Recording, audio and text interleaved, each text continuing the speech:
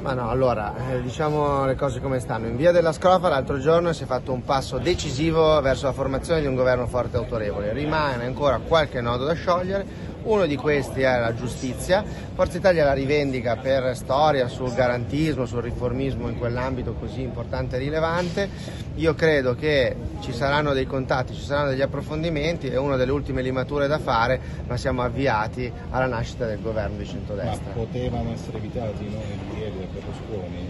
Ma no, ma guardate, il rispetto che Forza Italia ha per il Presidente della Repubblica è massimo, si tratta di, come dire, eh, normali eh, dialettiche, voi giornalisti ci chiedete tutti i giorni quali sono i ministri, non facciamo altro che parlare di Toto ministri, quindi insomma, lo derebrucherei, no, ha dato delle indicazioni ma poi voglio dire seguiamo i percorsi istituzionali.